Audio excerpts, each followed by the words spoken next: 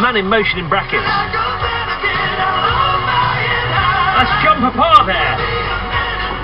So where are we sitting right now, one day ahead of this year's Star Wars Day? May the 4th be with you. Well, we're seven days away from Tuesday 2012 here on Radio 2 when we shake up the schedule. And all shift around. It's like musical chairs only with DJs and shows. And we're now only two days away from the FA Cup final.